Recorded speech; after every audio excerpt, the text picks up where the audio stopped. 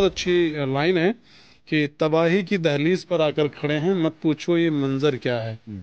बाहर से ज़रूर ठीक नज़र आते हैं सच पूछो मेरे अंदर क्या है। क्या बात। निकलते नहीं बूंद भर आँसू भी मेरी आँखों से ज़्यादा बंजर क्या है। हम्म। और टूटे हुए सपनों का दर्द इतना गहरा है मत ना कोई समुंदर क्या है।